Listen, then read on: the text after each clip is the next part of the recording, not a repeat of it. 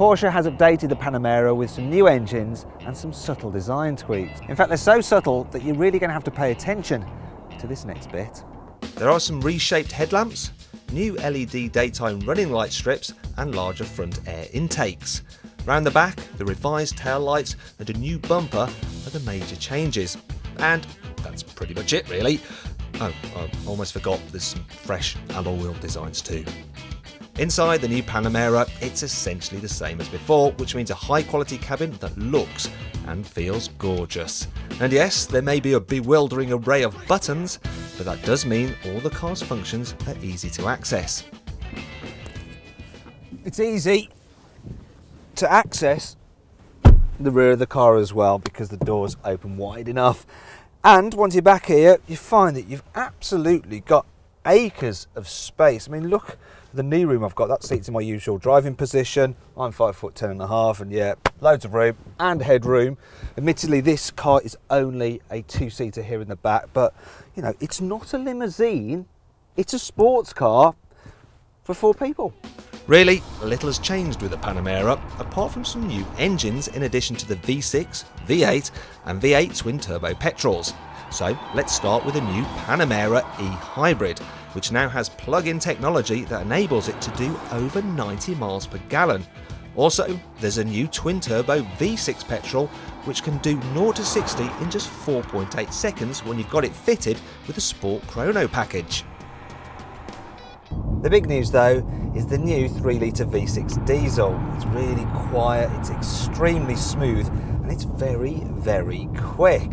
Now it's got 296 brake horsepower, which is about 50 horsepower more than you used to get in the old Panamera diesel.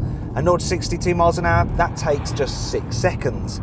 The bigger deal though is the torque. It's got 650 newton meters of torque. And that means that when you're just cruising along and you, you want to overtake some slow moving traffic, you just plant your right foot and this thing just flies past. You really can enjoy all that performance as well as the Panamera has pinch-arm handling that really belies its huge size. The Panamera now comes with torque vectoring as standard and that alters the amount of power sent to each individual rear wheel and that helps boost corner exiting grip and overall makes the car more fun to drive.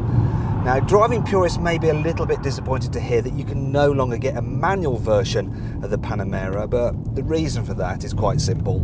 Porsche never sold any. And to tell you the truth, an automatic gearbox suits this car much better anyway, and the autos are very good. And of course, if you want to change gear yourself, you can do by using the steering wheel mounted paddles. And then, when you just want to cruise about, the smooth gearboxes provide effortless progress. Speaking of which, the Panamera is a very comfy car to travel in, especially if you have the adaptive dampers in comfort mode. Although on the entry level cars, they're actually an option, which will cost you over a grand. That's a problem you see with any Porsche. Once you start adding stuff, the price can get out of control.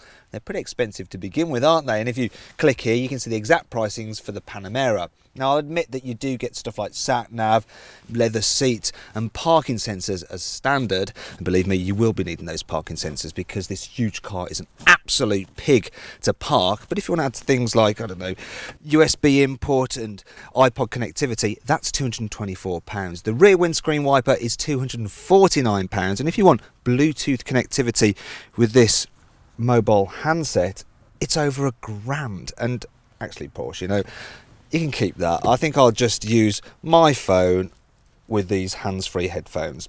Save myself a lot of money. All right. Then there's the boot. It's a good size and you can fold the seats down flat. Shame the parcel shelf is a little bit tricky to remove.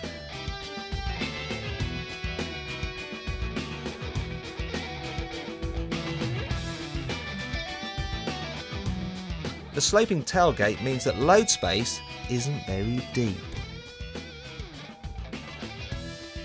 Finally, of course, there is the design because know, to some people, this is an ugly car and the changes don't go anywhere near far enough to alter that. And if you're one of those people, you may prefer the BMW 6 Series Gran Coupe, which you can watch our review of up here, or the Mercedes CLS, which you can watch our video review of down here. Of course, you can also watch our very latest video review by clicking down here, and if you click on our logo, you can subscribe to the Carbuyer YouTube channel.